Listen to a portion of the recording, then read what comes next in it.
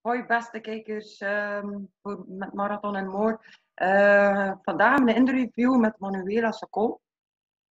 Die heeft voor onze Belgische tricolor uh, de Olympische Marathon gelopen in 2016 in uh, Rio de Janeiro. En het WK de WK-marathon gelopen in Doha. dat was wel een speciaalke waarschijnlijk, hè, Manuela?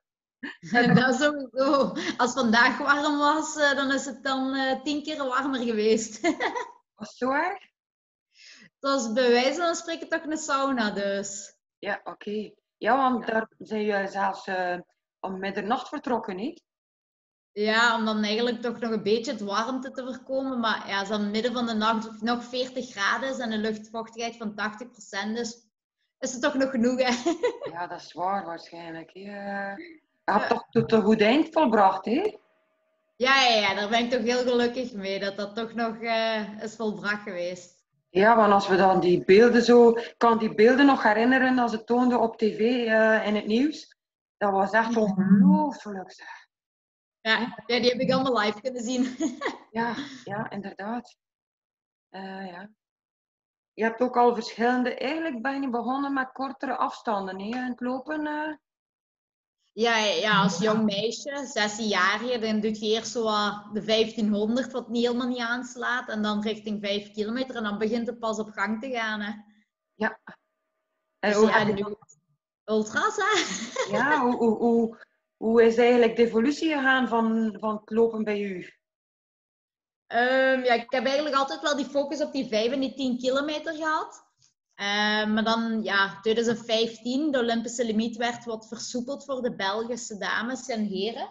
En dan uh, heb ik mijn eerste stap daarin gezet. En ja, sindsdien ben ik vertrokken eigenlijk. Hè. Ik heb vorig jaar dan, zogezegd, eigenlijk mijn afscheid in het marathonverhaal genomen.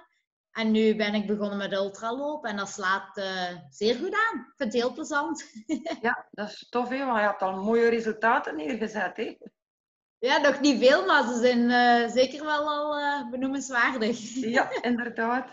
Um, nog, nog een keer terug te komen op de marathons. Um, Hamburg was uw snelste tijd, waarschijnlijk? Ja, 2 uur 37, 09. Ja, ja oké. Okay. En welke was de mooiste eigenlijk? Een marathon zelf vond ik New York eigenlijk nog altijd wel het spectaculairste. Uh, dus daar heb ik echt wel, qua sfeer en zo, is dat gewoon fenomenaal daar. En dan qua ervaring, ja, Doha zit er sowieso bij. En dan uh, Rio de Janeiro kan ook wel tellen. Ja. Iets minder het marathonverhaal zelf, omdat dat dan minder ja, supporters en zo zijn. Iets andere omstandigheden. Maar als ervaring is dat wel iets hoor. Oké, okay, tof. Ja.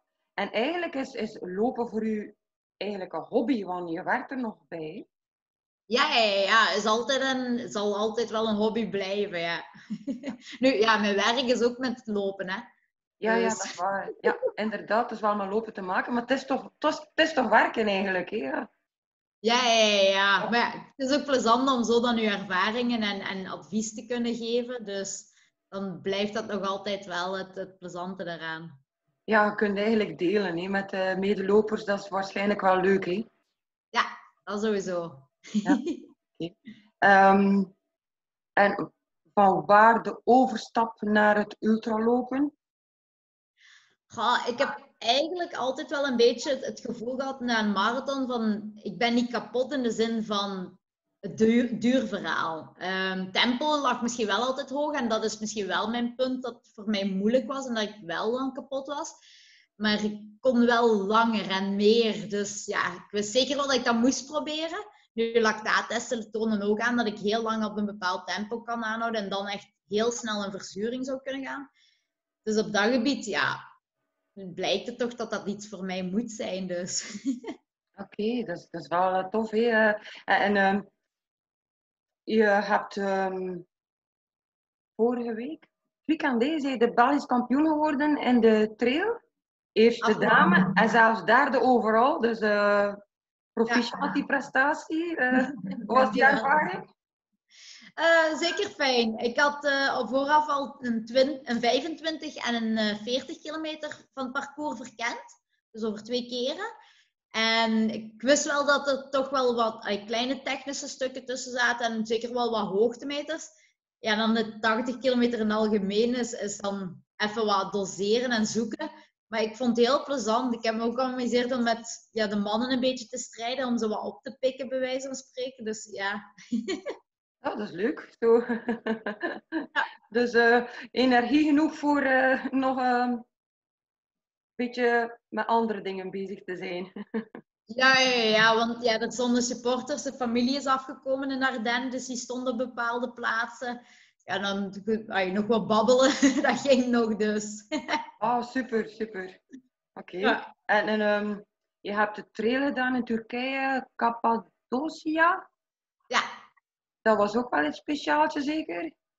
Ja, dat was sowieso al speciaal in de zin van dat was drie weken na Doha. En we hadden zoiets van, nou, we zien wel wat er gebeurt. Uh, maar ja, om dan al het parcoursrecord te zetten. En, en ja, die eerste trailervaring echt, ja, die was wel pittig. Maar ja, een binnenkomer denk ik dat dat was. ja, dat is tof. Want daar heb je zelfs een nieuw parcoursrecord gevestigd. Ja, ja, ja. Dus, ja, daar had ik niet aan gedacht hoor. Oh mooi, dat is inderdaad respect, respect. Ja. Wat een goede reclame voor het uh, ultralopen in België, vind ik toch? Ja, ja, ja. ik denk uh, dat ultralopen wel uh, in België, zeker toen in Cappadocia, want Stijn van Lokeren had toen ook een tweede plaats op de 120 kilometer. Dus we hebben daar wel ons België landje laten zien. Ja, super. Ik vind het echt tof. Uh, en Tarawera, dat was in Nieuw-Zeeland, dat was, dat was ook iets speciaal. Daar heb ik de beelden ook van gezien en dat vond ik kippenvel, echt. Ja. Ik krijg nog kippenvel als ik eraan denk en als ik zo... Ja, ik het, als ik er terug aan denk, komen ook terug weer wel wat emoties naar boven, dus. Ja, dus... Dus um, gewoon die, die uh, cultuur vandaar waarschijnlijk, hè? Dat, is, dat is zoiets speciaals. Ja, ja, dat sowieso. Ja. Ja. Dus ja, de Maori-volk en dan uh, de Hakka dat gepresenteerd wordt, ja, dat is gewoon uh, zeer indrukwekkend. Ik denk dat, hoe, hoe ervaarde dat? Want ik, ik dacht zoals ik die beelden zag, dat voelde me echt nederig en klein. Oh ja, is ook wel. Maar ja, zij zijn gewoon ook indrukwekkend in de zin van het zijn zo grote mensen ook al. Dus ja, dat, ja. dat valt ook wel op. Maar als die dan zo'n indrukwekkende ja, ceremoniële dans of zo uitvoeren, ja, dan is gewoon nog ja, meer pakkend. Maar je weet ook wat er achter, achter het verhaal zit. Hè? Dat is een strijddans, dat is ja, hun manier om te tonen van wij zijn er ook voor u, respect. Dus ja, gewoon chic. Ja, ja, vind ik ook chic eigenlijk. Uh, ja. Als je daar dan zo een, een loop kan doen, dat is inderdaad uh, super. Um, ja. En hoe, hoe, kan je je iedere keer opnieuw opladen voor, voor uh, een doelstelling te verwezenlijken? Of hoe leef je daar naartoe? Uh, ja, sowieso is eigenlijk een beetje een lange termijn planning. Um, voor naar 2021 en zover toe hadden we dat ook al, maar dat is nu moeilijker omwille van een COVID. Maar ik ben nu ook zoiets van, oké, wat ik nu kan doen, moet ik gewoon doen. En daarom het BK was ook eigenlijk super wel gekomen om toch een, een, een doel te hebben. En dan nu zijn we aan kijken naar weer een nieuw doel en we zien wel wat op ons pad ligt. Hè. Ja, en, en hoe, kom je iedere hoe kan je jezelf iedere keer opnieuw motiveren voor, ja, want met die COVID het is niet eenvoudig als je geen doelen stelt. Ja, dat klopt, dat klopt. Nu, ja, ik loop gewoon heel graag. Hè. Dus het is niet dat ik mij moet motiveren om te lopen. Um, de doelen komen wel ook vanzelf, dus ik blijf gewoon heel graag lopen.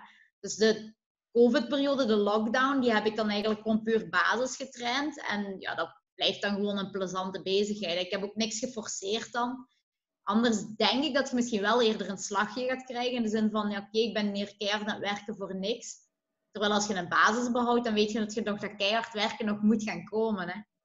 Ja, inderdaad. Van, uh, als de, um, het beestje bedwongen is, dan uh, kun je terug weer uh, vol een bak erin gaan eigenlijk. Hè?